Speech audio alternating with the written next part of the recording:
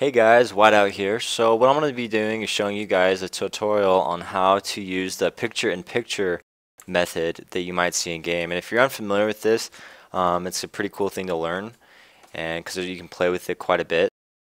Um, it's pretty flexible. So what it does is if you're a first person, down here in the bottom right corner while you're running around, it will show a picture in a picture of like video or something like that.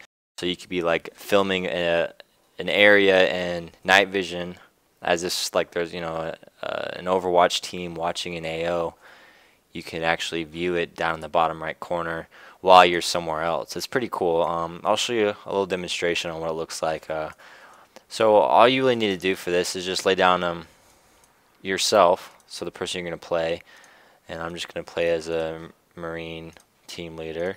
And you can pick anyone that you want Now you want to pick what video it is that you want to be recording. So you can choose what the target is and you can set them as triggers. Uh, but what I'm going to be doing is I'm just going to be filming myself from a different location. Now uh, you can do this with another player if you want or you could be doing it from an object. So we're going to put uh, and you can put it anywhere. It's going to follow you no matter where you are. So if you're like 100 miles away, it's going to follow you even if you're that far. Uh, it's going to be hard to see though, of course. So let's just place an object. It, so all you have to do is push F1 and then go to empty and then select any kind of object you want. Um, in this case, I could just use a backpack if I want to. And I've tried a lot of different objects, so you can use any object that you would like. Okay, so now you have your camera and you have what the camera is going to view. So what we're going to do is uh, link the two together to understand what they need to do. So all you have to do is go to your modules and then stay on miscellaneous and go down to live feed init. That's basically initialization. Okay. Now, see, it's been a while since I remember this. Um, you have your live feed init, and that's going to be where the live feed's going to uh, relate to. So then you want to synchronize it, I believe, to the person that you want to see the picture in picture. And go ahead and go back to your modules. Um, stay on miscellaneous. Then you want to go to set source. Or no, let's set target target is going to be the person that is going to actually I'm not sure if you can synchronize it to the live feed or the team leader. I don't know if it'll I guess we can try it. We'll see if it connects the two. And then you want to go back to your modules again.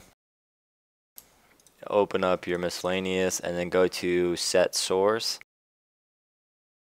Source meaning what the source of uh, the camera what where, what's the camera going to be?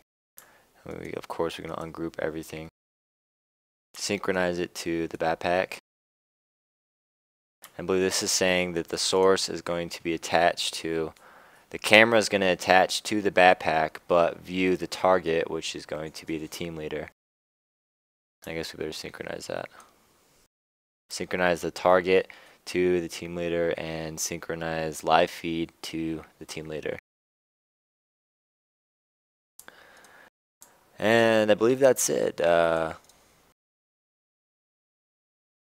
I'm going to go ahead and move it over here so it's easier for the camera to see. Let's see if this bad boy works.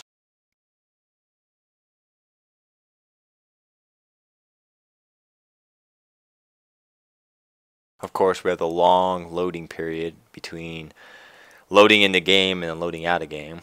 It's one thing I hope they change the game for before the release is the loading times.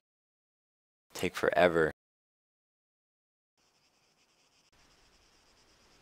There we go. It worked. Don't mind the little script error. That's because I have my show script errors on instead of my no splash. So as you can see, there's the backpack up ahead, and then the picture in picture in the bottom right. So we'll go ahead and run to it. And as you can see, the camera is going to follow it. And if you look in the bottom right, the camera is actually moving side to side because I'm moving side to side. And it will follow it And you can attach these to vehicles. It will stay attached to the vehicle and watch any target that you would like. Believe it or not, Arma 3 actually uses the same method for their picture-in-picture -picture inside their vehicles. So there you go. There's a quick uh,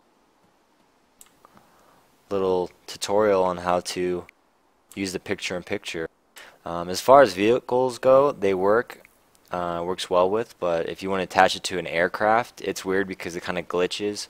If you attach it to an aircraft, it will actually stay in place, like, you know, it won't follow the aircraft at all, so keep that in mind, but yeah, that's it. That's all you have to do for a picture-in-picture. -picture. Um, it's a pretty cool little thing. You can play with, like I said, it's pretty customizable if you're somewhat familiar with scripting, so figured I'd share this with you guys. I uh, hope you guys enjoyed the video, and if you liked the video, then why not like, hit the like button. Thanks for watching.